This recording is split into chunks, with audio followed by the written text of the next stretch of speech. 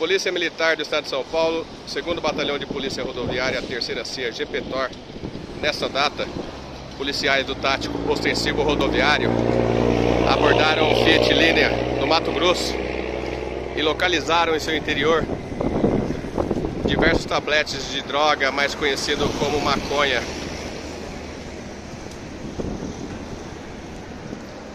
Ocorrência em andamento. Polícia Militar, a Força Pública de São Paulo.